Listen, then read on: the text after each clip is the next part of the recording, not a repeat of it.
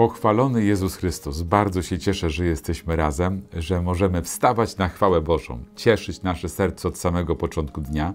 Dzisiaj Ewangelia jest o uczniach z Emaus. Odchodzą z Jerozolimy i idą w kierunku wsi Emaus. Tam po drodze spotykają Jezusa. I ewangelista pisze, gdy tak rozmawiali i rozprawiali ze sobą, sam Jezus przybliżył się i szedł z nimi. Lecz oczy ich były niejako na uwięzi, tak, że go nie poznali. Tak często jest to nasze życie, że my tyle rozprawiamy o Jezusie, myślimy o nim, e, rozkminiamy jakieś sytuacje. Tutaj jesteśmy z tego niezadowoleni, tam coś nam nie pasuje w kościele, a tu nie pasuje w naszej parafii, a tutaj różne takie wywody prowadzimy. Wywody, Jezus jest obok z nami, słucha tego i nie jest rozpoznawany przez nas.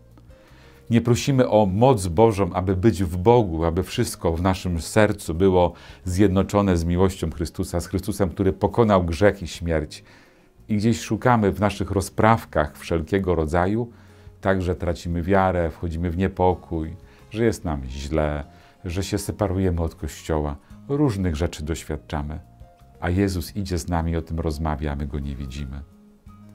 Nasze życie, małżeństwa, kochające się i się rozchodzą pomału, tylko dlatego, że nie rozpoznają Jezusa idącego z nimi, bo są różne rozprawiania o różnych sprawach. Podobnie z rodzicami, z teściami.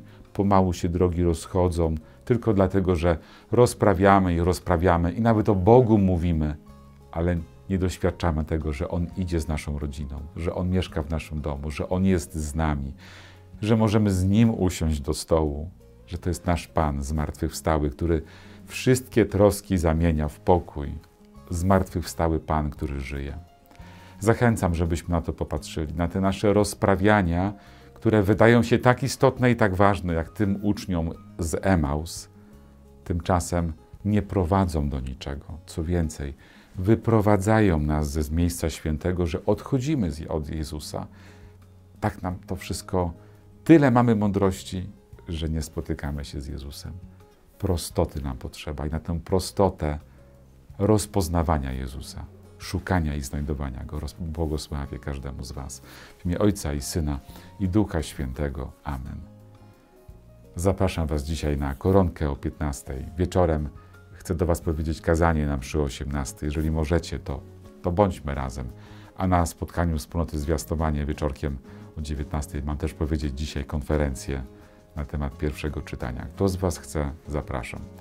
Teraz pomódlmy się albo zmartwychwstały Pan, tu mamy taki teledysk mocny w duchu, może być to dobra treść na dzisiaj, albo daj mi usłyszeć Twój głos, tutaj ten teledysk. Do zobaczenia.